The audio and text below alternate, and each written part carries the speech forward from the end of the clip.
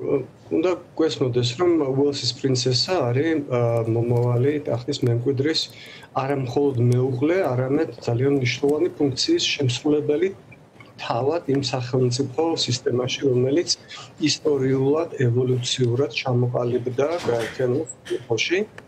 ასე რომ პირადად კეიტს ექნება ძალიან სერიოზული ფუნქცია განსაკუთრებით მაშინ, როდესაც მისი მეუღლე გახდება მეფე და თავდაცვა დედოფალი, მაგრამ დღესაც დღესაც ის და მისი მეუღლე ასრულებენ ძალიან სერიოზულ ფუნქციებს. ეს არის ძირითადად ცერემონიული ფუნქციები, მაგრამ ფუნქციები, რომლის დატოვება თავად ბრიტანელმა ხალხმა გადაწყვიტა იმ კონსტიტუციური მონარქიის სახით, რომელიც დღეს არის შენარჩუნებული.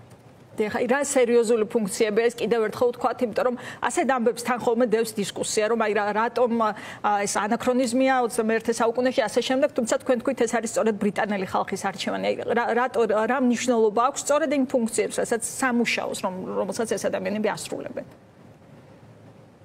Ну ამისთვის ერთ მაგალითს მოვიყვან მარტო. ეს არის ელისაბედ მეორის მეფობა რომელმაც გასტანა 70 წელს და რომელმაც გაერთიანებულ სამეფოს შეუნარჩუნა სტაბილურობის ძალიან სერიოზული დონე იმ კატაკლიზმების შეიძლება ითქვას მიუხედავად რომელსაც ადგილი ჰქონდა ამ 70 წლის განმავლობაში. მე მარტო მაგალითს მოვიყვან რომ 1952 წელს გაერთიანებული სამეფო ჯერაც წარმოადგენდა მსოფლიოს ყველა დროის ყველაზე დიდ იმპერიას და 10 წლების განმავლობაში მოხდა დეკოლონიზაციის მშვიდობიანი დეკოლონიზაციის პროცესი და რამდენჯერმე დადგა თავად გაერთიანებული სამეფოს ერთიანობის შენარჩუნების საკითხი და ერთ-ერთი ფაქტორი, რომელმაც მაგალითად შოტლანდიის დამოუკიდებლობის რეფერენდუმისას და სხვა ვითარებებში გადაწყვიტა ერთიანობის შენარჩუნება, იყო პირადად ელისაბედ მეორის ფიგურა და ზოგადად ტრადიციული ბრიტანული მონარქია, რომელსაც მნიშვნელოვანი კულტურული და პოლიტიკური მემკვიდრეობის ფორმა აქვს მიღებული დიდი ხნის განმავლობაში და როგორც თქვი, ბრავალი გარდაქმნის პროცესს პროცესში ბრიტანელი ხალხი ყოველთვის უპირატესობას ანიჭებდა ამ ინსტიტუტის შენარჩუნებას. და აი კეითი ერთ-ერთი მემკვიდრეა ამ ინსტიტუტის და მომავალში მას ელის ძალიან სერიოზული ფუნქცია ერის ქვეყნის ერთიანობის და ერთგვარი აი უწყვეტობის შენარჩუნებაში. აი ბატონ გიორგი გამოხმაურებები იყო ორგვარი ძირითადად ხომ აი ჯანმრთელობას უსურვებდნენ მომავალ დედოფალს და ამასთან აკრიტიკებდნენ მედიას არის თუ არა ასეთ დროს მედიის ინტერესი საკმარისი არგუმენტი მანამდე მით უფრო რო სანამ არ ჩანდა კეით მიდლტონი, შემდეგაც უკვე როდესაც ოფიციალური განაცხადი გაკეთდა. ბრიტანულ მედიაზე ორი რამე შემიძლია გითხრათ. ეს არის სოფლიოში ალბათ ერთ-ერთი ყველაზე მნიშვნელოვანი ინსტიტუტი ინგლისში გამოიგონეს საერთოდ პერიოდული პირველი პერიოდული გამოცემა გაზეთი.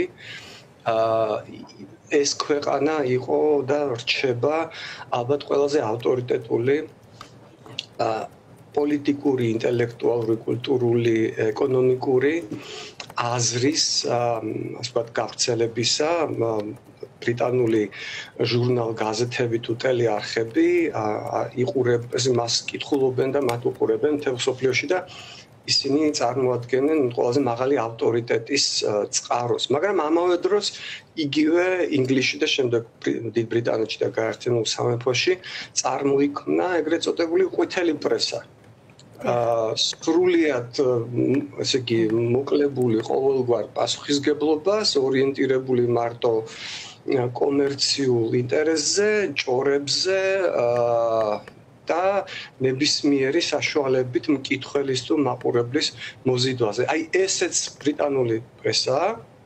და მას ძალიან ხშირად აქვს აი ეს როლი, რომელიც თქვენ ახსენეთ, უბრალოდ არაც უბრალოდ ცნობის მოყარე, არამედ ზოგჯერ აი სულად ტოქსიკურად ჩამრევი ადამიანების პირველ ცხოვრებაში. და ეს რა თქმა უნდა პირველ რიგში ეხება სამეფო ოჯახის წევრებს, რადგან ისინი უფრო დიდ ინტერესის უფრო სერიოზულ ობიექტს წარმოადგენენ, მაგრამ არ შემოიფარგლება ამით. ნებისმიერი ცნობადი სახე ძალიან ხშირად განიცდის აი ესეთ ზეწოლას და პირდაპირ ჩარევას მის პირად ცხოვრებაში. ასე რომ აქ ორი რადიკალურად განსხვავებული მხარე აქვს ამ ერთ-ერთივე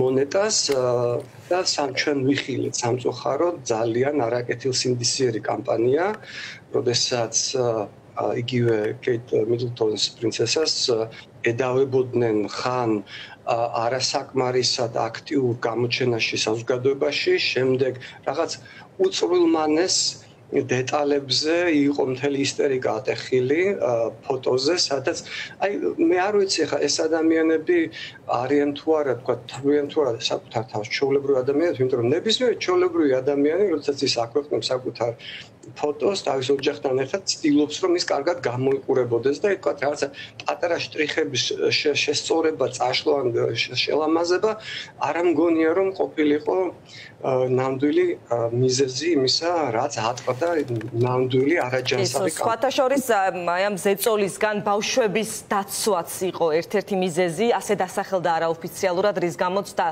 გვიან გავრცელდა კეით მიდლტონის განცხადება, თუ არ ვწდები სკოლაში არ დადეგები, არ დადეგებს დაამთხვიეს განცხადების გავრცელება, რომ ან ბავშვებთან კომუნიკაცია სახლში მეტად შეძლებოდათ. დიახ, ეს არის, მაგრამ ვიმეორებ, რომ სამწუხაროდ ეს არის ტრადიცია, მათ შორის უშუალოდ ბრიტანული მედიისა, რომელიც დაუნდობლად ცდილობს ექსპლუატაცია გაუწიოს ნებისმიერ ისეთ თემას, რომელიც იქნება ინტერესის საგანი უბრალო ხალხისთვის, რომლებიც ნუ როგორც სამწუხაროდ შეიძლება ჩავთოთ არიან დამკვეთები აი ამგვარი ამგვარი ჟურნალისტი.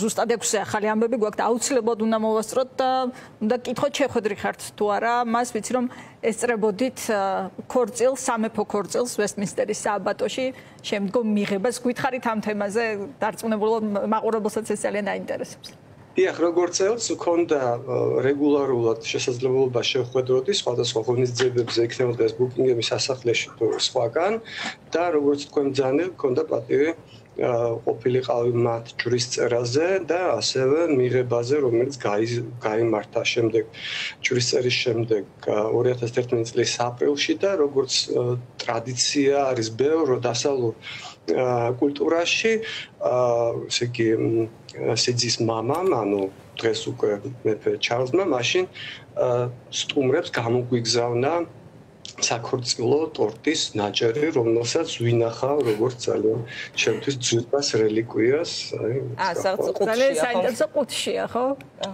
ყუთშია და ისე ცოტაშორის ძალიან კარგ ფორმაში არაფერი არ მოსულა. რამდენი წელი გავიდა? დაახლოებით 13 11 წელი. და კიდევ ერთხელ გვაჩვენეთ კადრში რომ კარგად იყოს საქმე და რა წარწერა აქვს ესეც გითხარით რაც პროტოკოლური სიგნალი არის უილიამი და კეთრინი თარიგი ხედავთ პეტი ბატონო. ხო.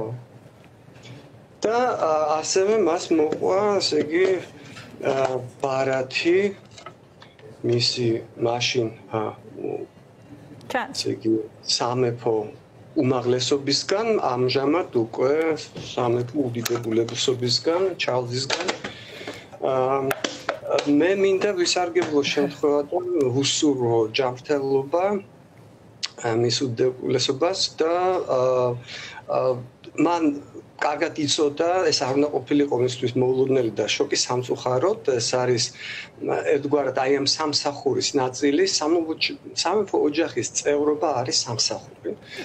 და ამ სამსახურში ყველაზე სამაგალითო იყო ელისაბედ მეორე რომელმაც დატოვა წარმოუდგენელი მემკვიდრეობა და ძალიან დიდი იმედი მაქვს რომ მისი შვილიშვილი უილიამი და მისი მეუღლე კეთრინი გააგრძელებენ ამ გზას.